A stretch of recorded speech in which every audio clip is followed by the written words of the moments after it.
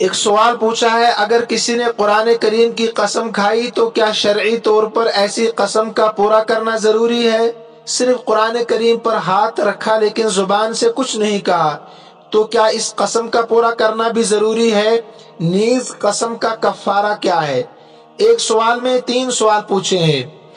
دیکھیے، اللہ کے نبی صلی اللہ علیہ وسلم نے ارشاد فرمایا، صحیح بخاری میں روایت موجود ہے من کان حالفن فلیحلف باللہ او لیسمت جو شخص قسم کھانا چاہے انہیں قسم کھانے کی ضرورت پیش آئے، تو اس انسان کو چاہیے کہ وہ صرف اللہ کی قسم کھائے یا خاموش رہے۔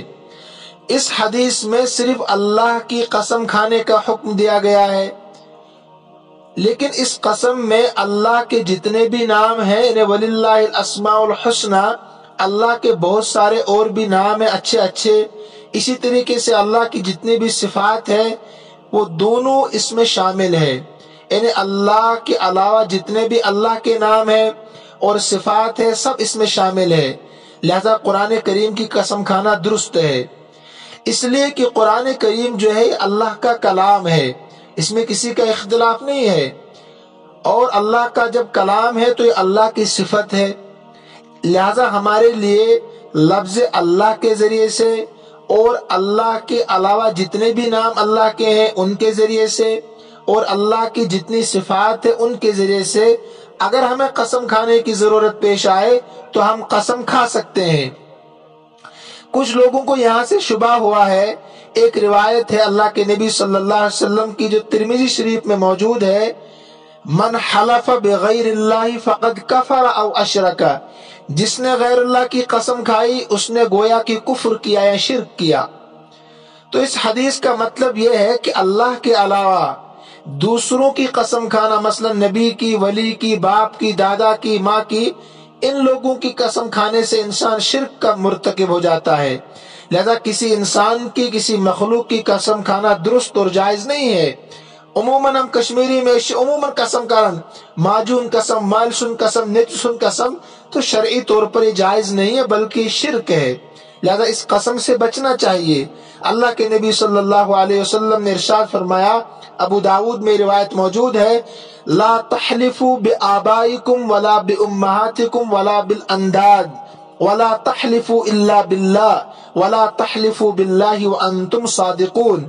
کہ تم اپنے باپوں کی قسم نہ کھاؤ، اپنے ماؤں کی قسمیں نہ کھاؤ، اسی طریقے سے بتوں کی قسمیں بھی نہ کھایا کرو۔ اور تم قسم مت کھاؤ اللہ کی بھی۔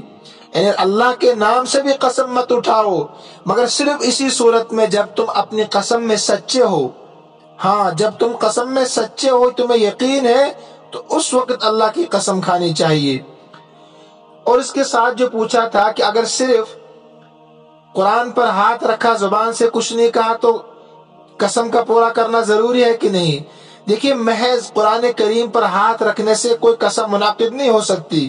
جب تک کہ قسم کھانے والا زبان سے الفاظ ادا نہیں کرے یعنی اللہ کی قسم کھاتا ہوں یا قرآن کریم کی قسم کھاتا ہوں کہ فلاں کام نہیں کروں گا۔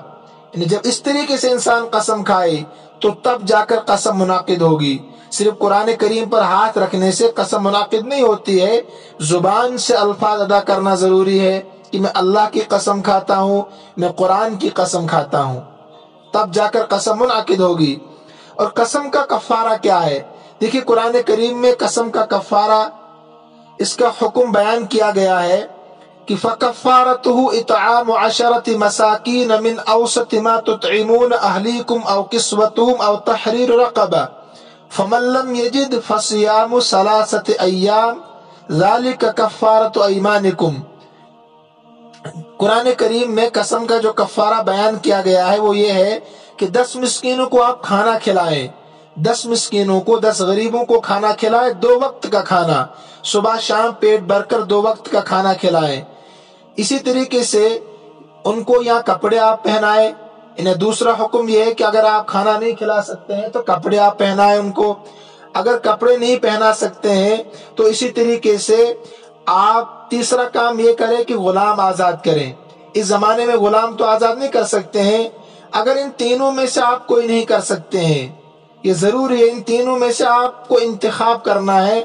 یا تو آپ مسکینوں کو کھانا کھلائیں یا اسی طریقے سے مسکینوں کو کپڑے پہنائیں، دس مسکینوں کو، یا ایک غلام آزاد کریں آپ۔ ان تینوں میں سے جب آپ کچھ نہیں کر سکتے ہیں، تو اس کے بعد تین دن کے آپ روزہ رکھیں۔ تین دن کے روزہ رکھیں۔ یہ جو مسکینوں کو کھانا کھلانا ہے، دو وقت کا کھانا کھلانا، صبح بھی اور شام بھی۔ اب اگر آپ پیسہ دینا چاہیں تو پیسے بھی دے سکتے ہیں۔